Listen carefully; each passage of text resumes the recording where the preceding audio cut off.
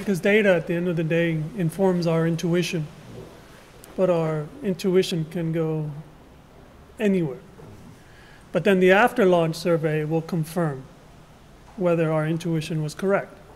So in my company, we use data after launching, and design is accountable because there is data confirming whether our design was well received or not.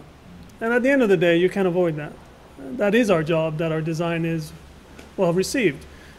Fortunately, when design is well received, there's a value associated to good design.